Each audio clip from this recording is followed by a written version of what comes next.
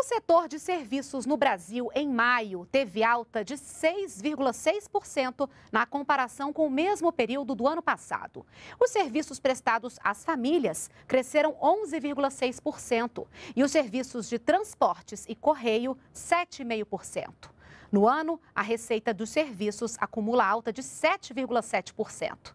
Em 12 meses, o crescimento do setor foi de 8,2%.